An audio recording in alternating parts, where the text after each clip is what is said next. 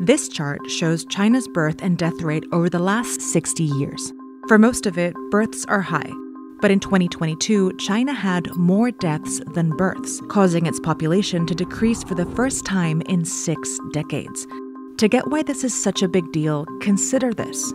China is the world's manufacturing superpower, and that's in large part because of its huge population. Nearly 30% of the country's economic output comes from manufacturing.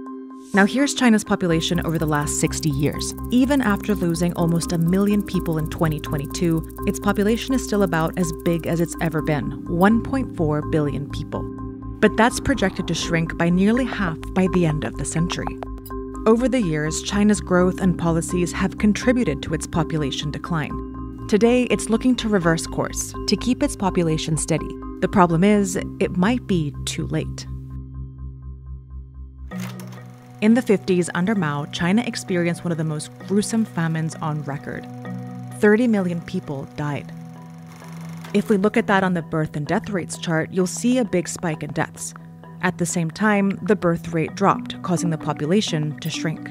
But as often happens with wars, famines, and other major crises, immediately after, there was a baby boom.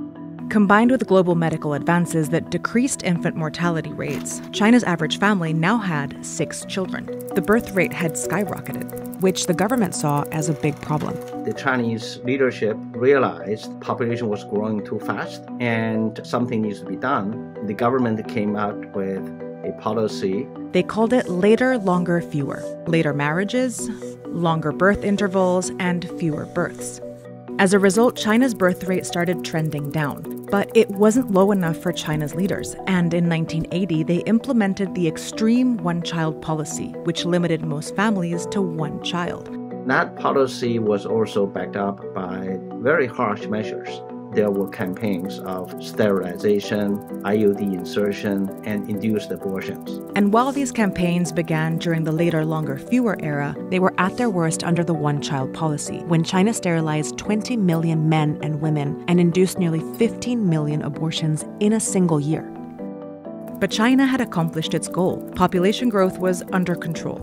Except, as China would soon realize, these restrictive policies worked a little too well. In order for any population to stay the same size in the long run, each couple needs to have, on average, 2.1 children. This is called the replacement rate.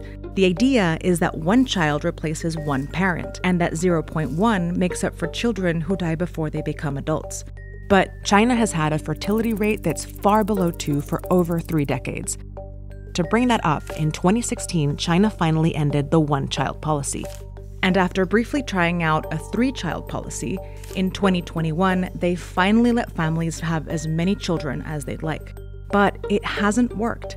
One big reason is the unique family structure produced by the one child policy. We're looking at what's called a 4 to 1 family structure with a couple having four parents above them and uh, one child below. Most countries have diverse family structures, some with three kids, others with none. But with China's 421 model, millions of only children are under increasing pressure to care for their aging parents and elderly grandparents. And this can make having multiple children even harder, especially as the cost of living keeps rising. A recent survey revealed that more than 50% of young people don't want more than one child because of financial and work pressures. We have seen cash subsidies for additional birth, longer maternal leaves, uh, subsidizes uh, for kindergarten, and all sorts of monetary support. Well, the thing is, almost none of them has worked because having a child is exceedingly expensive and it's a li- lifelong commitment. And so it's not, it's really actually hard to put a price on this. But China's population crisis isn't just about babies, it's also about the balance between young and old. If we look at population pyramids that show distribution by age, we see that countries like Kenya, with rapid population growth, look like this wide at the bottom, representing a lot of new young people, and narrow at the top, Countries experiencing slower growth, like the Philippines, are still triangular, but the difference between top and bottom is less pronounced. Now, take a look at China and notice the narrow bottom, so fewer babies, and the heavy top, a larger number of elderly people. Which is a happy uh, outcome of our uh, improvement in health and in standard of living, um, but combined with sustained low fertility and that just produces sustained population aging. In 2050, that pyramid is projected to look like this. And that will further drive down China's population, shrink its labor force, and put the whole country in a uniquely difficult position. In the 80s, China became a hotspot for foreign investment, cheap manufacturing, and exports.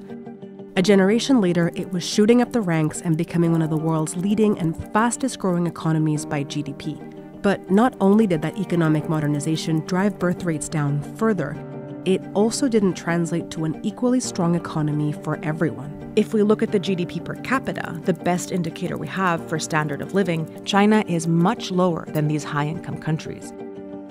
China became a major world economy nearly overnight, but it's still a middle income country. Many, especially in rural areas, haven't benefited much from China's economic boom. And China has yet to develop the necessary safety nets to support its aging population. To build uh, the social infrastructure, like the social programs in healthcare and in pension, uh, it takes time. And that's getting uh, actually tougher with the economy that's slowing down. And a slower economy will inevitably redefine China's role in the world as a manufacturing superpower. What this means for China, for the world, is that the resource constraints from within would also constrain the Chinese ambition and uh, its global reach. In some ways, China isn't alone. A lot of Asian and European countries are experiencing population declines too. What makes China different is how fast this all has happened. It was only 40 years ago that China started leveraging its booming population to become an economic superpower, all while still trying to stem population growth. Now that China's population growth is officially over, China may have to rethink its future, not just as a global superpower, but for its citizens at home, too.